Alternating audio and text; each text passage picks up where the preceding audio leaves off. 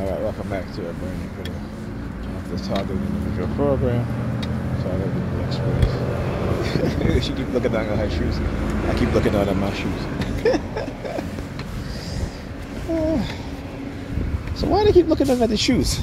It's the colors, right? They're wearing white shoes, they're wearing black shoes, um, red shoes, uh, brown shoes, green shoes, uh, yellow shoes, a combination of colors. Okay. Um, yeah. So anyhow, they started doing the elbow thing. You know, it's funny because, like I said, sometimes when they try to, what they do is that they'll they'll plant stuff in your head, right, using uh, silent sound, right, to condition you, and then they'll do an action like the elbow, swinging the elbow to the side, right, and um, you know you got to be careful of how you think, right. So when they started doing that, like for example, like Pam will, I'll walk next to her and she'll like el- do an elbow, right? She'll elbow me slightly. Okay, again, this has been done, you know, in certain at certain times in certain ways to elicit what they've planted in your subconscious.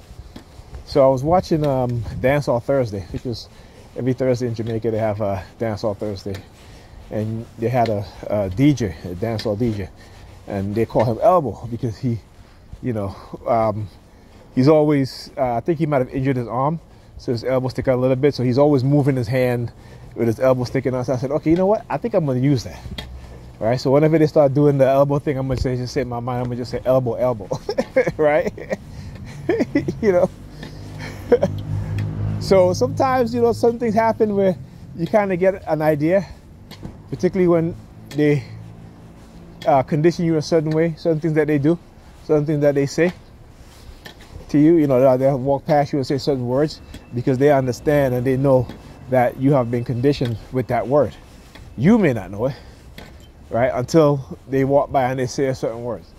Then all of a sudden you might start thinking negative or feeling negative, right? It's because you have been conditioned, you have been programmed with that word. And it is, again, using silent sound. Technology based on the radio wave, microwave frequency to embed suggestions in your subconscious. And therefore, the trigger, see like how she put her hands across her waist, and look, look, grabbing her hair. All right. so I'm doing the same thing too, doing across my belly.